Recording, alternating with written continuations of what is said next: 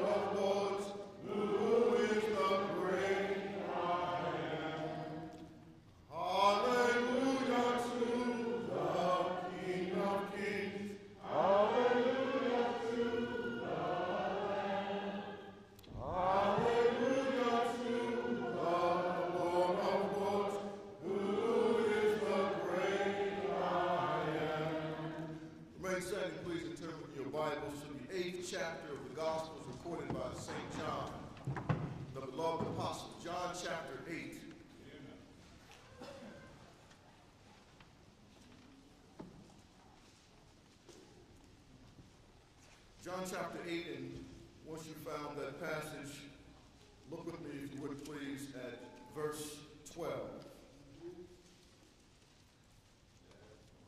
John chapter 8, cast your eyes at verse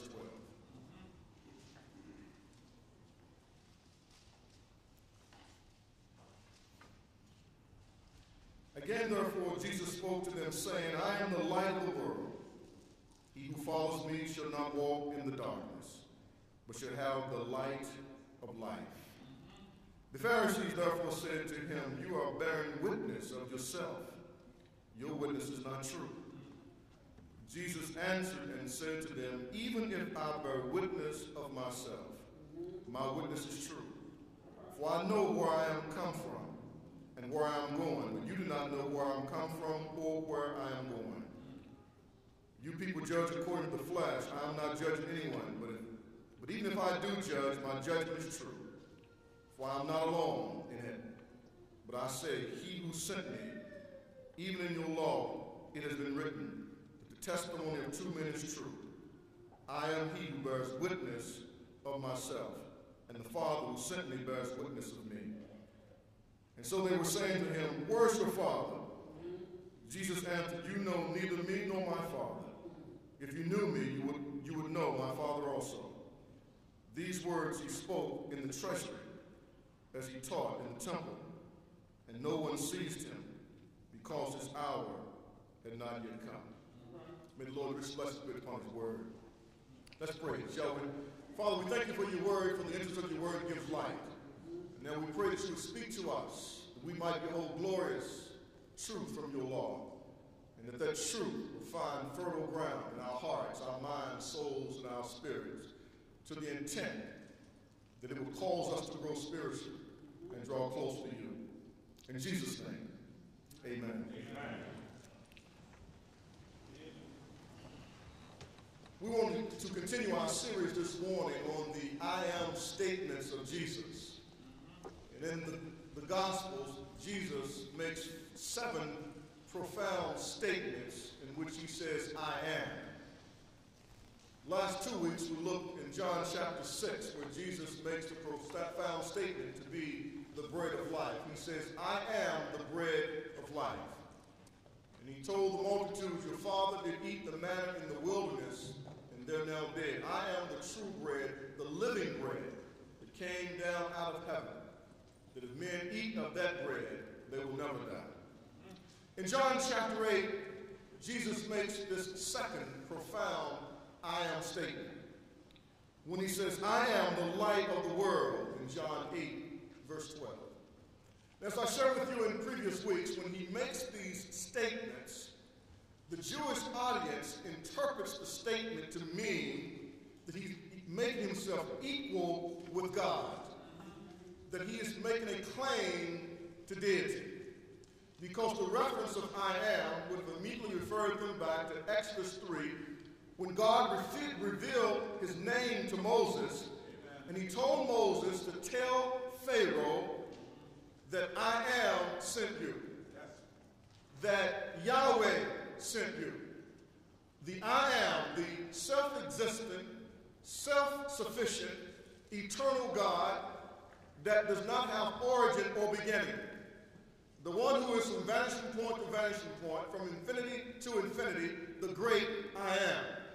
And so when they heard Jesus say, I am the bread of life, and then said that the bread that they, the fathers had eaten in the wilderness did not come from Moses but from his father, and then to say that he was the true bread, and now on this second occasion he says, I am the light of the world.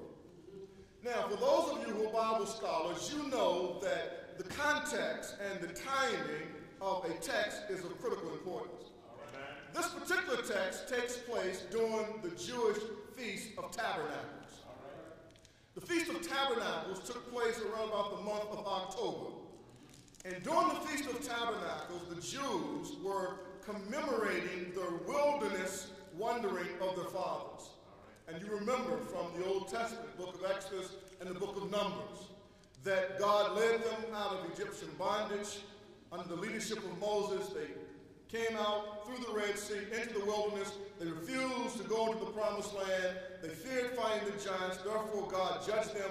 And their ancestors had wandered in the wilderness at a place called Kadesh Barnea for 40 years. During the 40 years of wilderness wandering, however, even though they were in a state of rebellion, God had provided for them. He provided food for them and water for them.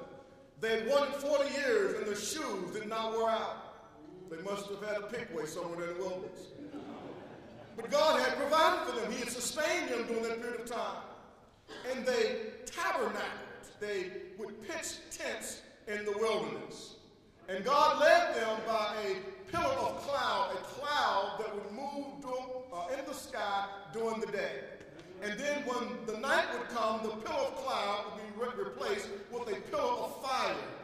A fire cloud in the sky. And when it was time for them to stop and pitch tent, the pillar of fire would stop. And they would know that that's where they were to pitch the tent. So the cloud by day and the pillar of fire by night was their guide. It was their compass directing them. And so the Jews would commemorate this during the Feast of Tabernacles for, for seven days they would pitch tents and they would live outside to commemorate their ancestors dwelling in the wilderness in tents. And at the night during the Feast of Tabernacles, in the court of women in the temple, they would light the candelabra. And the candelabra was this huge chandelier with all these candles on it and they would light the candelabra and they would raise it up, and the candelabra would illumine the temple, and the lighted temple could be seen from miles because Jerusalem is up on a hill. Uh-huh. And so the lighted temple could, could be seen from miles away, and they were reminding themselves that God had led them by the pillar of cloud and by the pillar of fire. So, with that as a backdrop, Jesus steps into the temple when they're preparing to light the candelabra with the stage having been set, and he says, I am the light of the world. I am the true light of the world. The cloud by day and the fire by night was nothing more than a symbol, it was a type. It was a predictor that God would one day send the true light into the world. And so, with that as the backdrop and the statement now having been made, you can imagine the Jews scurrying, responding to the statement made by Jesus. But before we look specifically at their response, turn back with me in John chapter 1, because this whole idea that Jesus is the light of the world, and that people should come to this light. The Bible is replete with references to this thing. In John 1, John writes, In the beginning was the Word, and the Word was with God, and the Word was God. He was in the beginning with God. And John is referring here to the Logos, the, the eternal Word. That Jesus Christ is the Word of God. Verse 3 All things came into being by him, and apart from him was nothing came into being that come into being. In him was life, and the life was the light of men. And the light shines in darkness, and the darkness did not comprehend it. Now stop right there. John in John 1, he says that in the word was life. And the word that John used there for life is the word Zoe. And Zoe refers to the inextinguishable, indestructible quality that is self existent with God. The Zoe, the life that is in God, is inextinguishable. The life that is within God is indestructible. It is one of the intrinsic, eternal perfections of God. He says, In him was life. All of life has its origin with God. God is life. And so John says, In Christ is the inextinguishable, indestructible, eternal life of God. Uh-huh. That's why when a person receives Jesus Christ as their personal Savior, they receive eternal life. Because to receive Christ into your heart by faith is to receive the very life of God. It is to receive the inextinguishable, indestructible, eternal life of God. That's why eternal life is not something that Christians get after a while down by the chilly Jordan waters. Eternal life is a present possession. It is a present reality that we have. The very life of God is inside of us. We can never cease to live. Even though, as Paul says in 2 Corinthians 5, though this earthly tabernacle, Paul used the same word, this earthly tent is dissolved. Paul says if this earthly tent literally falls down, he says, I have another tent. It's eternal, not made with hands, it's in heaven with God. So Paul says, I am inside this earthly tent, this earthly tabernacle. And he says, I'm yearning, I long to be clothed with my eternal tabernacle. But he says, just because this earthly tent falls down, because this earthly tent dies, it does not mean that I cease to exist. Paul says, well, to be absent from the body is to be present with the Lord.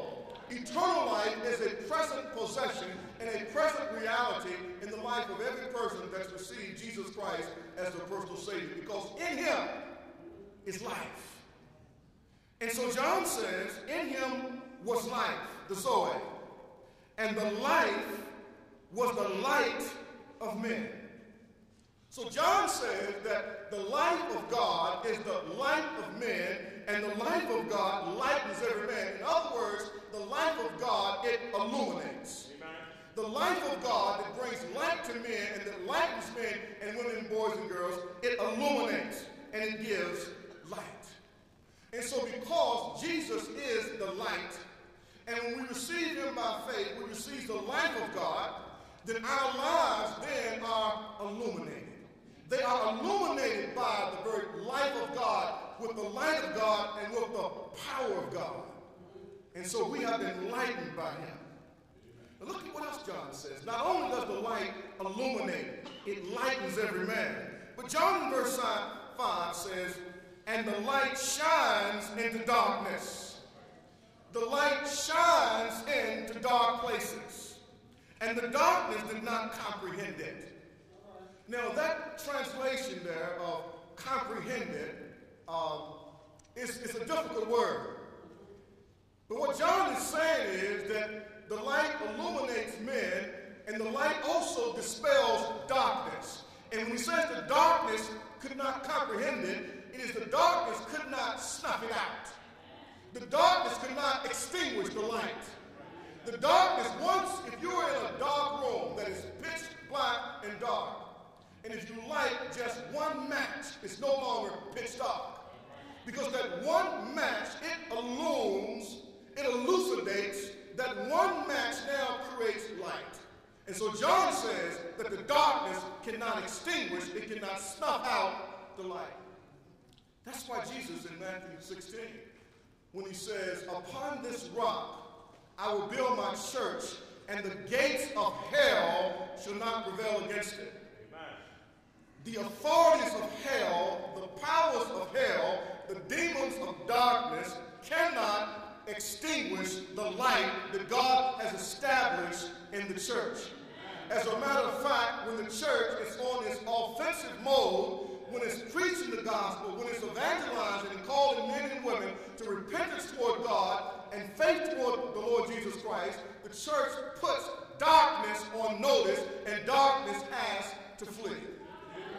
So John says that Jesus, in him is life, and that light illuminates men, it lightens men and women and boys and girls, and that light dispels the darkness, and the darkness cannot comprehend it.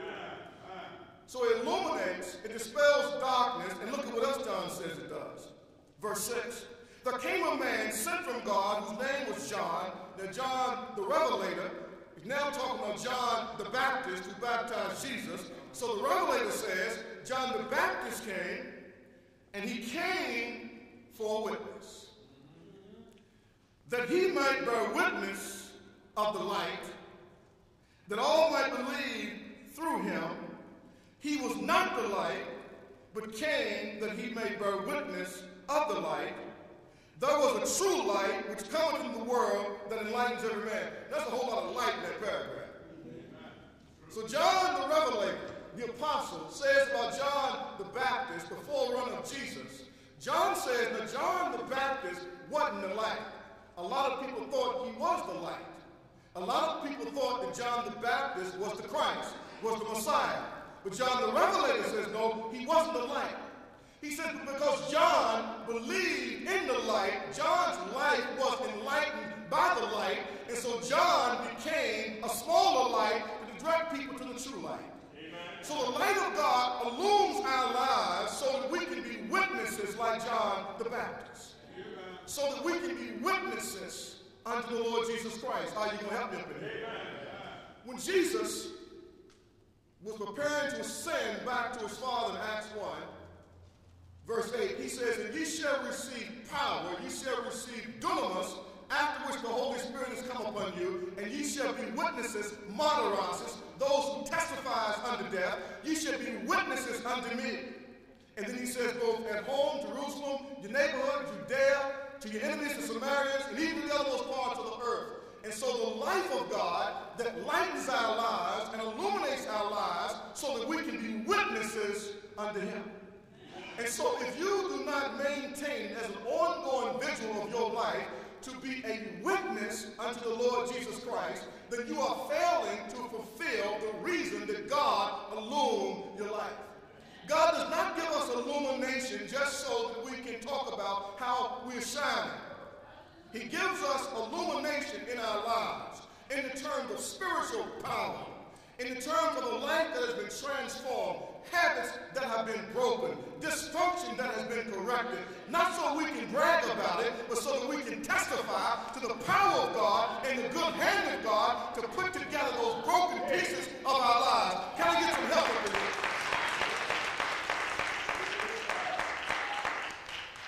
And so that's why Jesus said, you might want to write the reference down in Mark, in Matthew chapter 5, when Jesus said to his disciples, and he's saying also to us.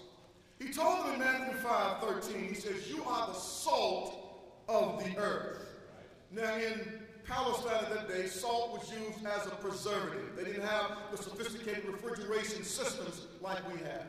And so the fishermen would go to the market and they would catch their fish. They would salt them down to preserve them until they could get them to the marketplace. If they were to slay lamb stock, livestock, they would salt it down to preserve it because the salt, it retards decay. It retards putrefaction. And some of y'all who grew up in parts of the country, like myself, know that every fall, the fall of the year, just before the weather gets real cold, is when you slay the hogs. And so when you slay the hogs and you have those big hams, you, you put curing salt on them.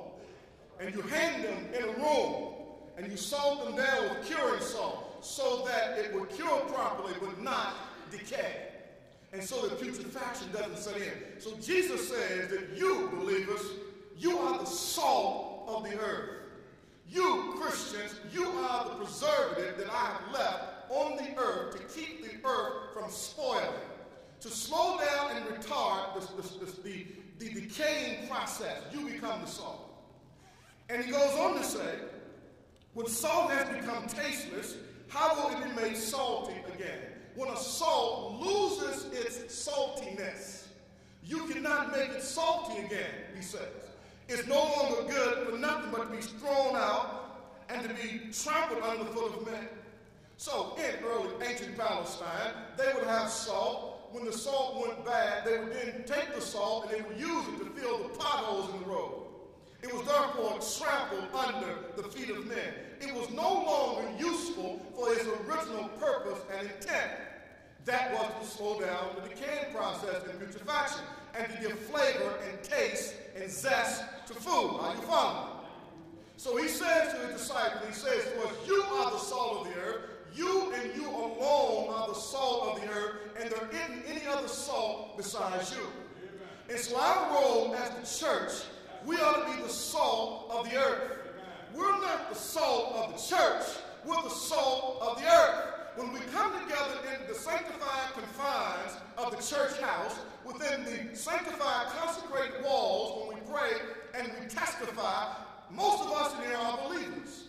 And so we, our lives ought to be salty.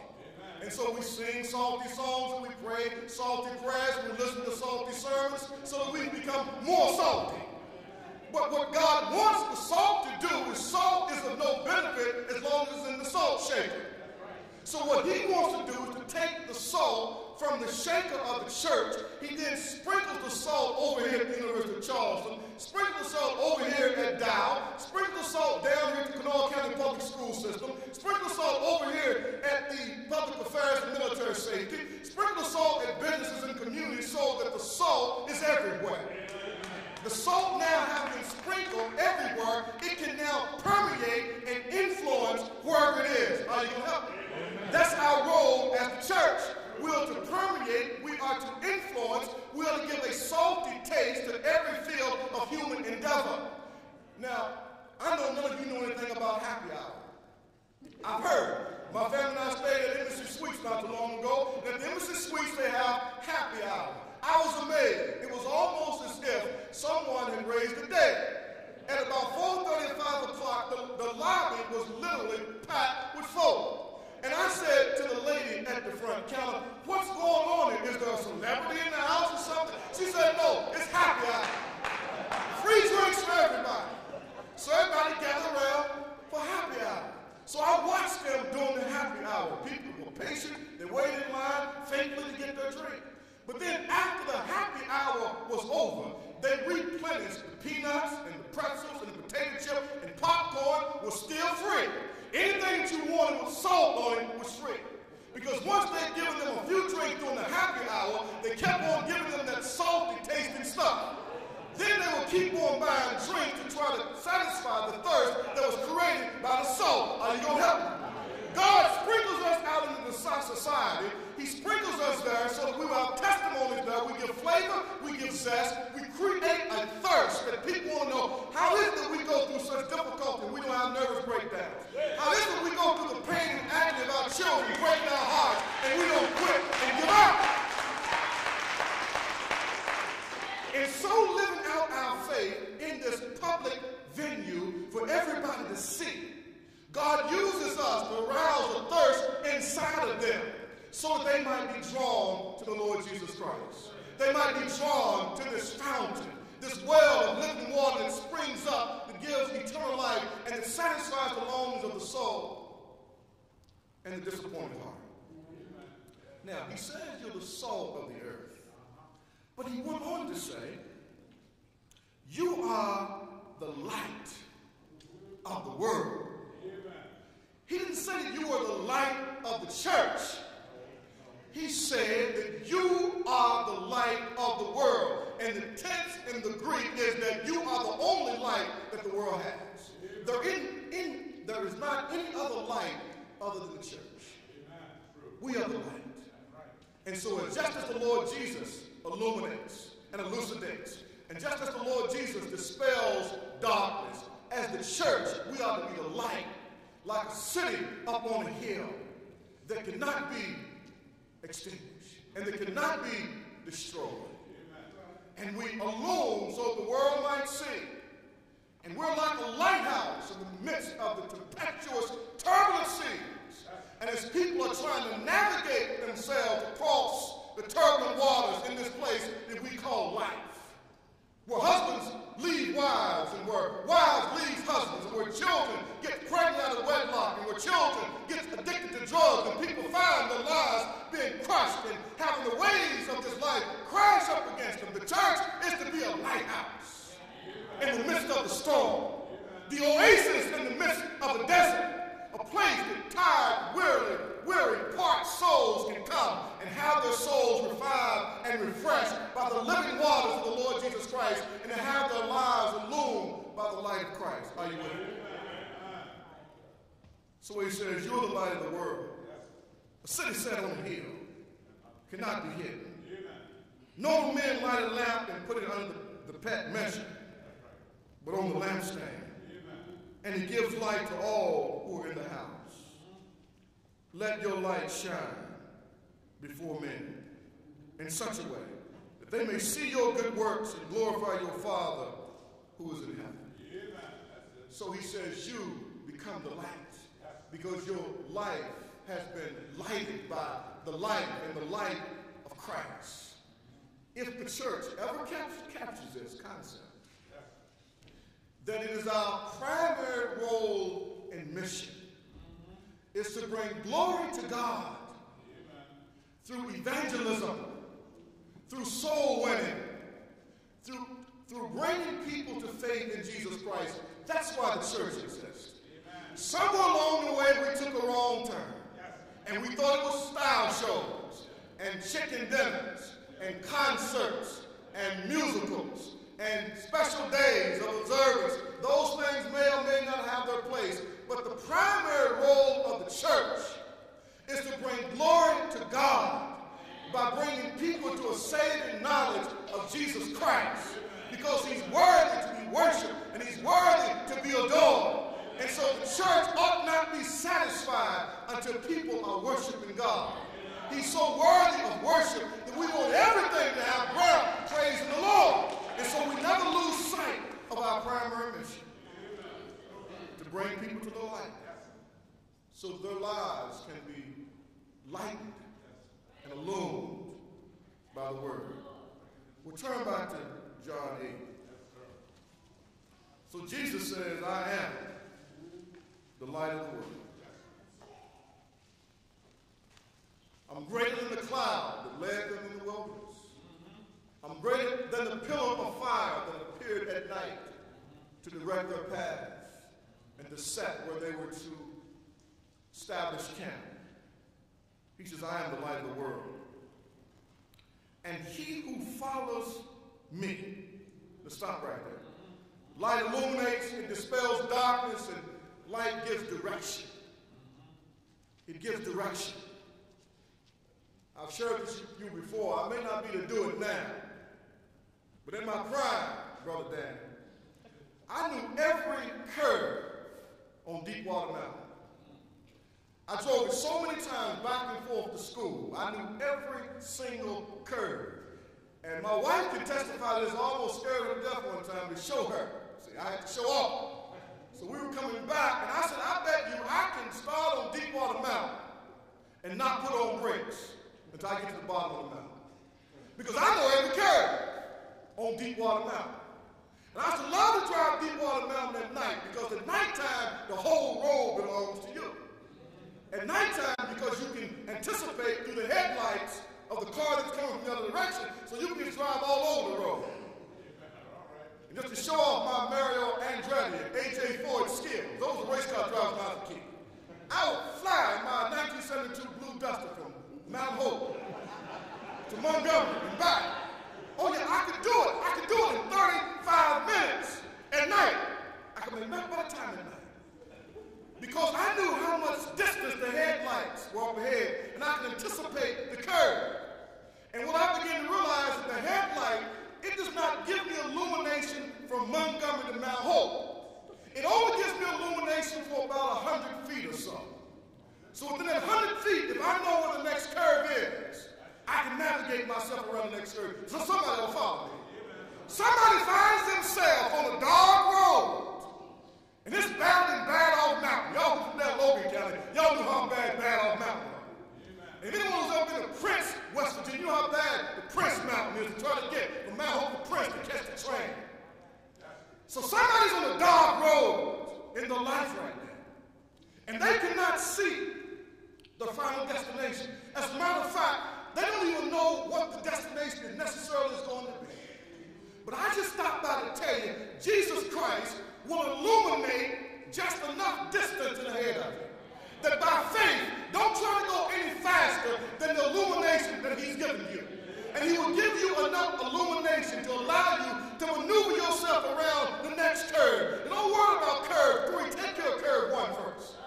He will give you enough light to maneuver around curve one. And he, once you get around curve one, there'll be enough light to deal with curve two.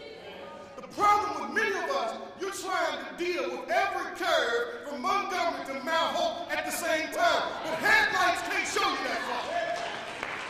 And if by the grace of God, if God were to give you illumination, humanly, we can deal with it all at the same time. I've learned, I've learned through 45 years of existence and over 20 years of walking with Christ, I don't want to know what tomorrow holds. I don't know what one know tomorrow holds because if I know what tomorrow holds, then I'm going to be preoccupied with the day trying to change the events of tomorrow. So I miss the opportunity to serve God today. I don't know what the future holds, but I know who holds the future. I don't understand his plan, but I can trust his hand. So I'm going to say sufficient enough is for me to deal with the issues and the circumstances of the day, and to believe he will give me enough illumination to walk today by faith to trust him. And so he illuminates, he dispels darkness, and he, he'll give you direction. Somebody needs some direction up here. Someone is facing some perplexing situations and circumstances, and you don't really know which way to turn. And there are many options and, and many choices, and you don't know the right one to choose. You see, as we grow in grace, we begin to realize that we walk by faith and not by sight because we're not smart enough to walk by sight. We were not smart to walk by sight. We're not omniscient. And so we don't know what's behind every door. We don't know what's on the other side of the curtain. And it's always easier to say, I could have done or I should have done once you see what's behind the curtain. But you got to stop living in the past because the choices you made, if you made it by faith, trust in God and believe in God. And even though the circumstance and the situation on the other side may not be what you wanted them to be, but it might be a lot better off than what the other options were. You don't know what the situation might have been if you chose the other option. So just because things are difficult and things are hard, it doesn't mean that you didn't make the right choice if you made it by faith. And even if you made the wrong choice, if at that point you're surrendering yourself to the Lord, He's able to get you back on the right path. Because He's the light. And, and, and, and He sees all tributaries and every other possible route to get you back on track. So sometimes you and I will make wrong turns, and the Lord will have to allow us to have a, a scenic route down this wrong turn so we can just see what it's like when we choose to make choices without Him. But when we repent and turn to Him, He's already predetermined up here. I'm going to let them get back on the right road so I can move them on down a little bit farther. Let me wrap this thing up. Not only does light illuminate, dispels darkness, and give directions, but it calms fears. it calms fear. There's something about light. If you're in a dark room, it's amazing how you see stuff. Stuff is moving, and, and your heart starts to race. But just someone flipping the light switch and turning the light on, your blood pressure goes down. And your heart stops beating so fast when you realize all those you were nothing more than figments of your imaginations, and the light brings a sense of calm. Jesus says, I am the light of the world. And I can bring calm and peace and divine tranquility to a troubled heart, to a perplexed life, to a confused mind. I can calm your fears. I can calm your fears. And so he says, and therefore, I am the light of the world. He who follows me should not walk in darkness, but shall have the light of life. The inextinguishable, indestructible quality that God possesses, we possess only Him. Well, I'm going to like John the Revelator encouraged the believers that he wrote to in 1 John when he says, walk in the light. He says, if we walk in the light as he is in the light, the blood of Jesus Christ keeps on cleansing us, and we got fellowship with God. See, as we walk in the light, as He is in the light, because He's always in the light, and anytime we step into the light, into the truth, we have fellowship with Him. And as we fellowship with Him, our souls are encouraged, our spirits are revived, our minds are put at peace. We are energized because He brings that fellowship to us. And He keeps on cleansing us from all sin and unrighteousness. You know, as I close, there's someone here this morning that's not in the light. You came close to the light. And when you come close to the light and the light starts to expose the sin in your life, you choose to pull away from the light. Jesus had something to say about that. Remember when he was meeting with the midnight rabbi, a man by the name of Nicodemus? Nicodemus came to Jesus by night and wanted to know how could a man be saved? And Jesus said, You must be born again. And Jesus said to Nicodemus, He said in John 3:16, For God so loved the world that he gave his only begotten Son, and whosoever believeth in him should not perish, but have everlasting life. For God sent not his Son into the world to condemn the world, but that the world through him might be saved. He who believes in him is not judged, he who believes not have been judged already because he's not believed in the name of the only begotten Son of God. Then Jesus said something interesting. In John 3.19. He says, and this is judgment. This is judgment.